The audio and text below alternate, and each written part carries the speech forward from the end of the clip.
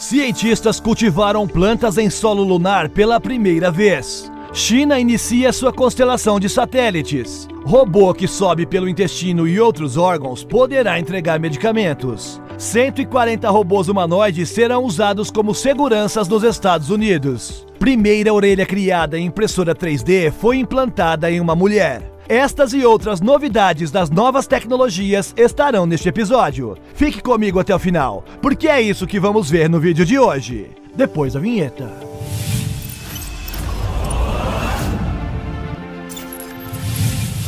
E aí, impressionado e impressionada? Eu sou o Carlos Alves e lhe dou boas-vindas ao nosso canal Realidade Impressionante. Se você gosta do nosso canal, já deixe o seu like porque nos ajuda demais. Sem mais enrolação, bora pro vídeo!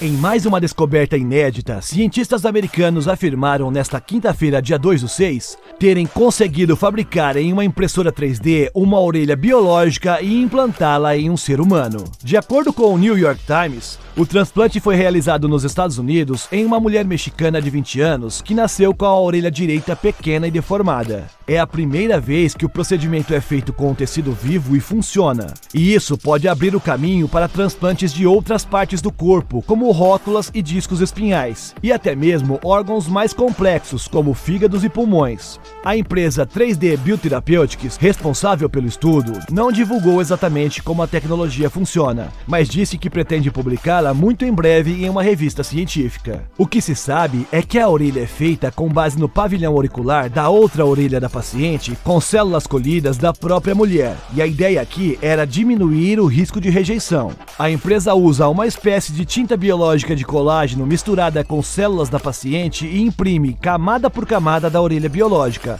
assim como seria feito com um produto de plástico. A orelha continuará regenerando o tecido de cartilagem e deve parecer mais natural com o tempo. O estudo está sendo conduzido com 11 pacientes, mas apenas este foi divulgado até o momento. Em entrevista ao jornal The New York Times, o médico Arturo Bonilla, que realizou o procedimento, conta que os resultados são impressionantes. E ele conclui dizendo: É tão emocionante que às vezes eu preciso me controlar. Se tudo acontecer como nós programamos, isso revolucionará os transplantes. Todos os pacientes serão acompanhados por 5 anos para avaliar a segurança do procedimento ao longo prazo e também como essa nova orelha vai se desenvolver esteticamente. A Lod Robotics assinou um acordo para fornecer 140 robôs humanoides para a ADT Comercial, fornecedora norte-americana de serviços de consultoria de segurança comercial, incêndio, segurança da vida e riscos. Acredita-se que este seja o maior negócio desse tipo envolvendo robôs humanoides. Com vários programas piloto de clientes já em andamento para testar e melhorar os recursos do robô, a ADT Comercial começará a disponibilizar os robôs para clientes corporativos no final de 2022. A Lod Robotics acredita que os robôs tornam os locais de trabalho melhores, realizando tarefas sujas, perigosas e monótonas para que os funcionários humanos possam priorizar funções onde criam maior valor. A plataforma de robôs humanoides da Alod Robotics executa serviços pré-programados usando inteligência artificial. Ao observar e relatar possíveis problemas e simplificar padronizando as tarefas, o robô é capaz de apoiar e expandir as capacidades de uma equipe humana que pode estar sobrecarregada. Os robôs de serviço projetados pela Alod Robotics são programados muito além das funções de patrulha de um robô de segurança básico. Se um robô, quando está em patrulha, identificar uma anomalia, um operador de segurança segurança humano pode usar os óculos de realidade virtual e comandar o robô para ver e ouvir exatamente o que está acontecendo. Pode também usar o corpo do robô para abrir portas e pegar objetos, ou até mesmo conter pessoas com segurança e eficiência. Segundo o fundador e CEO da Alod Robotics, este é o maior contrato de todos os tempos para os robôs humanoides. Pesquisadores da Universidade Metropolitana de Tóquio, no Japão, desenvolveram um novo sistema de captura que remove dióxido de carbono diretamente da atmosfera com desempenhos sem precedentes. O estudo usa um sistema de separação de fases líquidos-sólidas para remover o gás carbônico de baixa concentração na atmosfera com 99% de eficiência. Segundo os responsáveis, o composto é reutilizável com aquecimento mínimo e pelo menos duas vezes mais rápido que os sistemas existentes atualmente. Em todo o mundo são sentidos os efeitos devastadores das mudanças climáticas climáticas, o que requer uma necessidade urgente de novas políticas, estilos de vida e tecnologias que busquem a redução das emissões de carbono. O campo dedicado aos processos de captura de carbono, remoção e posterior armazenamento ou conversão de dióxido de carbono está se desenvolvendo muito rápido, mas alguns obstáculos precisam ser superados antes que qualquer procedimento possa ser implantado em grande escala. E a eficiência é um dos maiores desafios nos chamados sistemas de captura direta de ar.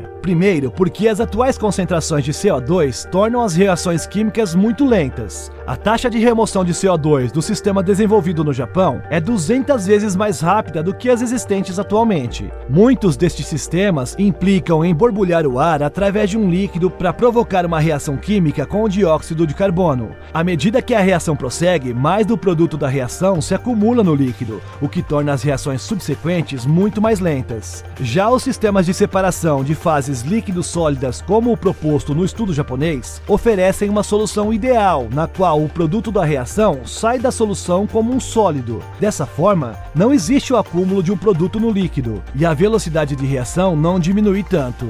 A nova tecnologia da equipe promete desempenho e robustez sem precedentes nos sistemas DAC, com amplas implicações para sistemas de captura de carbono implantados em grande escala.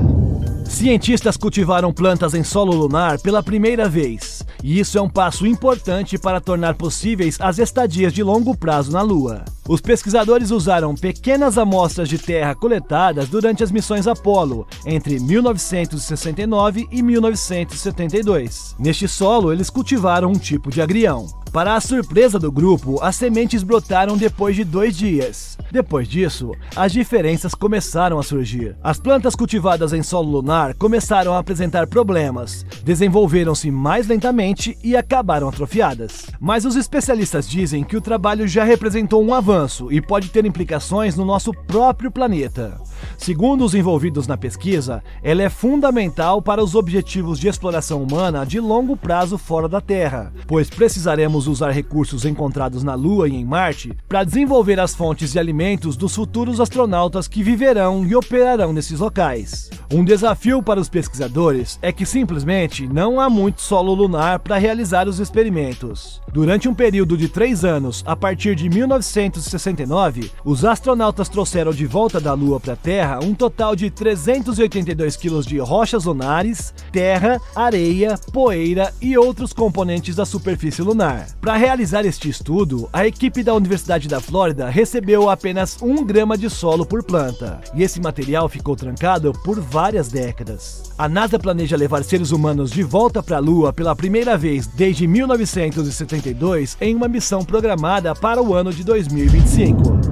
Desde seu primeiro produto em 2016, a Flyability vem liderando o desenvolvimento de drones de inspeção em espaços confinados. O Helios 3 é a continuação da missão da Flyability de desenvolver tecnologia que mantenha os inspetores humanos longe de locais perigosos. Segundo a empresa, este drone tem uma das melhores estabilizações do mundo, uma carga modular e também a capacidade de criar modelos 3D em tempo real durante o voo. E ainda segundo a empresa, este é o primeiro drone tolerante a colisões no mundo todo, e ele abre caminho para um futuro cada vez mais autônomo. Para as inspeções industriais, o Helios 3 é um facilitador essencial da indústria 4.0. Ele apresenta uma solução de inspeção, principalmente as de espaço confinado, que pode torná-las muito mais seguras, mais eficientes e muito mais baratas do que nunca. O drone é equipado com um sistema LiDAR, permitindo a coleta de dados com a finalidade de gerar modelos 3D via software.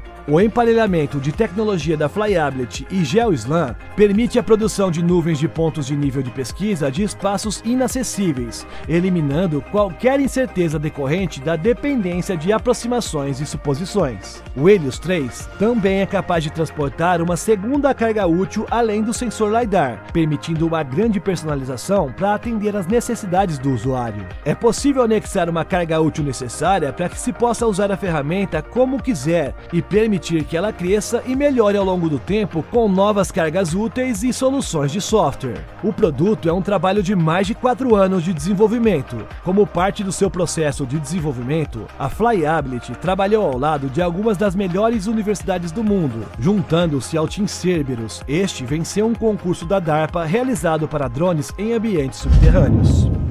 A China lançou nesta quinta-feira um foguete transportador longa marcha 2C para colocar um grupo de satélites comerciais no espaço. A constelação GL-01, composta por nove satélites, foi levantada do centro de lançamento de satélites de Xishang, na província de Sichuan, e entrou na órbita baixa terrestre. De propriedade da GE Space, a constelação de satélites será usada principalmente para pesquisar e validar tecnologias, como serviços de viagem de veículos inteligentes conectados e interação veículo veículo, smartphone e satélite. Também fornecerá suporte de dados para a proteção do meio ambiente marinho. Os satélites GE-SAT-1 são projetados e fabricados pela própria GL Technologies, e eles disseram esperar que outros 63 estejam em órbita até 2025, e o plano atual é de ter uma constelação de 240 satélites. Com este lançamento, a GL se tornou a segunda grande montadora a ter um negócio espacial aliado. A SpaceX, de propriedade do presidente executivo da Tesla, Elon Musk, tem mais de 2 mil satélites em órbita para formar a sua rede Starlink. Esta oferece serviços de internet comercial e militar. A Starlink planeja ter uma rede de primeira geração com 4.408 satélites.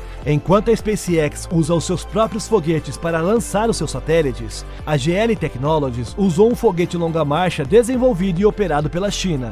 Além de fornecer suporte de posicionamento de alta precisão para carros autônomos, a GL disse que a sua rede também atenderá outras funções comerciais, como fornecer serviços de comunicação nos Jogos Asiáticos que acontecem em setembro. Os satélites da GL têm uma vida útil de 5 anos, e eles se desintegrarão na atmosfera terrestre sem deixar detritos espaciais, segundo a empresa. As redes de satélites da China são dominadas pelos seus militares, mas o governo começou a permitir investimentos privados na indústria espacial do país em 2014. De lá para cá, várias empresas comerciais, algumas apoiadas pelo governo, correram para o setor, com a maioria focada na fabricação de satélites e o resto tentando construir pequenos veículos de lançamento, incluindo foguetes reutilizáveis como o da SpaceX. Em seu último plano divulgado para cinco anos entre 2021 e 2025, Pequim pediu uma rede integrada de satélites para comunicações, sensoriamento remoto e navegação.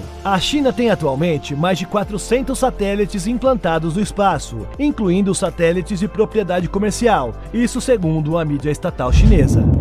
O Instituto Max Planck de Sistemas Inteligentes na Alemanha está trabalhando neste novo projeto chamado Mili Robot. Este robô tem alguns milímetros de comprimento e os seus pés aderem às superfícies dos tecidos sem perder a aderência. O bot pode resistir a ser desalojado por movimentos bruscos e pode até se agarrar a uma superfície à medida que líquidos caem sobre ele, assemelhando-se aos movimentos dos fluidos associados à respiração e à digestão. Ele é capaz de subir diretamente e até de ponta cabeça dentro do corpo humano. O dispositivo sem fio representa um marco significativo na robótica suave. O coautor Xiangwong Dong, da Universidade Vanderbilt, no Tennessee, diz que a sua equipe fez um robô com duas almofadas pontiagudas, e quando um pé está no chão, o robô puxa o outro pé da superfície e vira o corpo para dar um passo, um mecanismo que eles chamam de descascar e carregar. Quando coberto com uma fina camada de uma substância encontrada em cascas de camarão, os microespinhos do pé criam criam atrito e viscosidade suficientes para que os pés se agarrem à camada de muco dentro dos pulmões e do trato digestivo. Estes foram testados em porcos, incluindo os brônquios, tubos, esôfago, estômago e intestinos. Os pesquisadores controlaram os movimentos do robô dentro dos órgãos usando uma máquina próxima que manipula os campos magnéticos. Como o corpo do robô é feito de um material magnético elástico, ele se dobra e gira em resposta aos comandos da máquina. O mili robot pode transportar carga três vezes o seu próprio volume e até 20 vezes o seu próprio peso. Isso significa que ele pode transportar medicamentos, sensores eletrônicos sem fio ou até mesmo microagulhas e materiais de biópsia. E aí, gostou desse vídeo? Se sim, não esquece de se inscrever por aqui. Isso nos ajuda a crescer e ter mais relevância dentro do YouTube. Com isso, nosso conteúdo chega para mais amantes da tecnologia. Na sua tela tem duas novas sugestões. Continue vendo os nossos vídeos. Muito obrigado por nos acompanhar e até o próximo!